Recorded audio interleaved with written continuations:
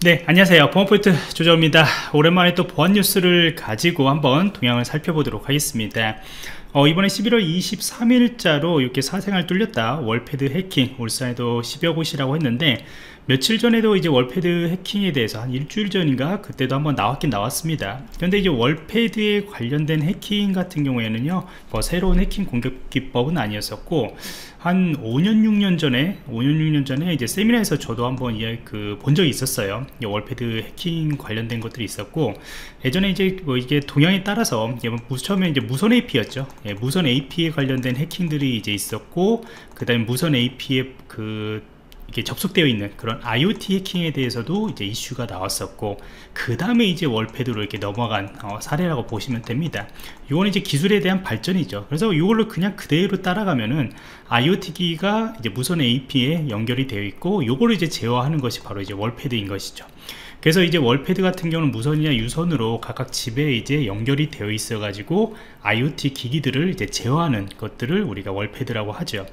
저도 월패드가 있는 집에 거주한 적이 없었던 것 같아요. 그냥 잠깐 신축 건물에 있었는데 거기는 이제 에어컨 정도 제어 뭐 이렇게 환풍기나 에어컨 같은 거 아니면 이제 엘리베이터 그게 월패드죠. 예, 그렇게 따지면 그게 월패드인데 아무튼 어, IoT 완벽한 IoT 기기를 제어하는 그런 월패드가 아니었었고 일부만 이렇게 제어하는 예, 그런 아파트에 산 적이 있었습니다. 굉장히 편해요. 예, 편한데 중요한 것은 뭐냐면은 이제 월패드가 해킹이 당했을 때 이제 그 관련된 CCTV 특히 이제 어, 집에서 아이들이 이제 밖에 놀이터에서 놀고 있는데 그것을 나는 CCTV를 좀 보고 싶어 그러면은 아파트에 설치되어 있는 CCTV에 연결이 되거든요. 월패드를 통해 가지고. 그렇게 확인할 수 있고 내 집 앞에 누가 이제 뭐 서 있거나 그런 것들도 이제 월패드를 통해 가지고 그때 때문에 CCTV를 통해 가지고 확인할 수가 있어요 그런데 이렇게 A, 그 어떤 어, 인터넷에 연결되어 있는 그런 CCTV에 대한 해킹 사고들 같은 경우에는 이미 한 12년째 13년 전부터도 이슈가 되어 있었죠. 무선 AP가 처음 설치될 때부터요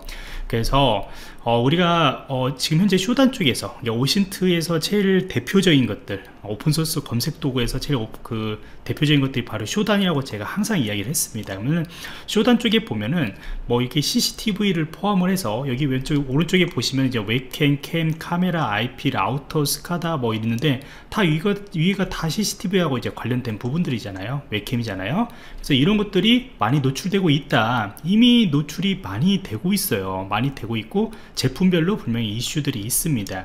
근데 이런 일들이 왜 생기냐? 사실 접근 제어 통제하고 그 다음에 이제 계정 관리 딱 이 두 개의 부분에 대해서 제일 큰 이슈거든요. 네트워크 분리는 이제 그 후고요. 사실 그래서 여기서도 주장하고 있는 것이 이제 집마다 네트워크 분리를 해서 서로 접근하지 못하도록 해야 한다 라고 하는 건데 어, 회사에서도 이렇게 큰 기업에서도 네트워크 망분리나 그런 것들이 힘든데 어, 아파트에서 할 수 있을까? 쉽게 할 수 있을까 라고 하는 것들. 이미 이제 네트워크가 다 구축이 되어 있는 곳에서 망분리라고 하는 것들을 좀 현재 주장을 하고 있는데 사실 그게 쉬운 일일까 라고 하는 것들이 저는 이제 좀 캐스천이다 라고 보시면 될 것 같아요. 그래서 이러한 월패드나 그런 것들에 대해서 조명, 난방, 안심, 그 뭐냐, 안심 카메라, IoT 기기들을 모든 다 제어할 수 있는 홈 네트워크 허브다 라고 하는 건데 여기에서 이제 우리가 중요시한 것들이 이제 IoT 기기에 관련된 이제 나중에 이제 보안 관제 업무들도 이제 이슈로 떠오를 거다라고 저는 이제 주장을 하고 있습니다. 어, 회사에서 사무실에서 사용하고는 IoT 기기 같은 경우에는 생각보다 많지 않아요. 물론 이제 뭐 LG 전자 같은 경우나 기타 전자 회사 같은 경우에는 IoT 기기들이 많을 거고 공장 같은 경우에도 최근에 이제 뭐 IoT나 이제 무선 AP 같은 경우도 많이 이제 설치가 되어 있었을 건데 사실 그것보다 그 집에서 설치하는 IoT 기기들이 많이 있을 거란 말이죠. 지금 현재 이거예요. 다 설치가 되잖아요. 다 설치가 되고 나중에는 우리의 꿈인 냉장고. 야 냉장고. 그 다음에 이제 뭐 전자레인지. 그 다음에 이제 뭐 침대 같은데 뭐 이런데 해가지고 어 많이 이제 아이 그 인터넷들이 연결이 될 거란 말이죠. 그러니까 적어도 집에는 IoT 기기라고 할 수 있는 것들이 한 20개에서 30개 이상이 설치가 되어 있어요 그러면 보통 한 2000세대 정도면은 좀 규모가 그래도 나름대로 있는 아파트들인데 2000세대에서 한 20개 가구 뭐 2000세대 20개씩만 들고 있어도 벌써 어떤 거죠? 한 4만 대 정도가 된다는 거잖아 그러면 이제 4만 대가 실제 IP에 연결이 되어 있을 거죠. 이것도 어마어마하죠. 4만 대가 연결이 되어 있다? 어마어마한 것이고 얘에 대해서 보안 이슈들은 계속적으로 이제 높아진다는 것이죠.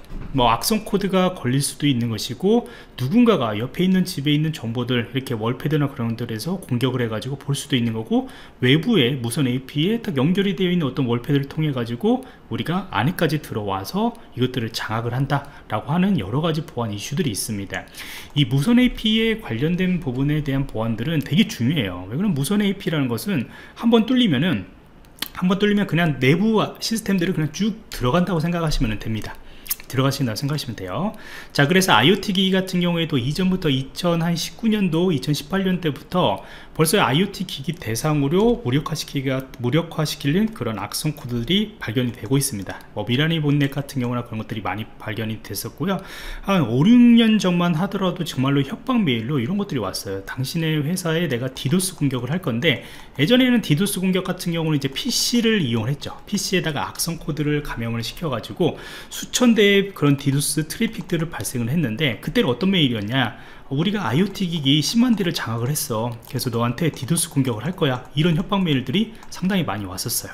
물론 요거는 아직은 약하다 상당히 신호가 아직은 약했는데 요것들이 이제 점점 점점 저희가 이제 5G로 갈 것이고 와이파이도 점점 좀 빨라지다 보면은 요거 심각하게 좀 생각을 해야겠죠. 그래서 해커가 이제 IoT를 공격하는 방법에 대해서도 제가 링크를 걸어 놓을 테니까 여러분들 한번 좀 참고를 해 보시기 바랍니다. 여러 가지 방법이에요. 펌웨어 자체를 노리는 해커들도 있고요. 거의 대부분 이제 접근제. 여기에서 이제 사생활이 뚫렸다라고 하는 부분들은 거의 다 접근제어 미흡과 관련된 부분들. 그 다음에 IoT 기기를 설치를 하고 난 뒤에 기본 관리자 페이지 그 다음에 webcam을 설치하고 난 뒤에 관리자 페이지에 대한 웹 서비스에 대해서 보안을 하지 않은 것 뭐 이런 이런 여러 가지 이슈들이 발생을 하고 있다 보시면 됩니다.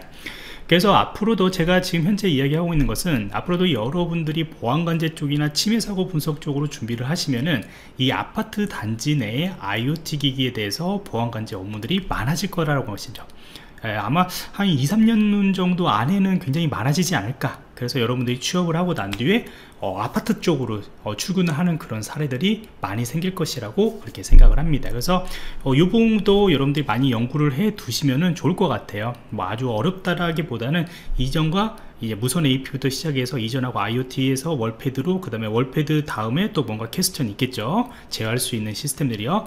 그런 거에 대해서 여러분들이 보안적으로 좀 고려를 해주시면 좋을 것 같습니다. 자 그래서 오늘까지 오늘은 이렇게 보안 동향들을 간단하게 좀 살펴봤습니다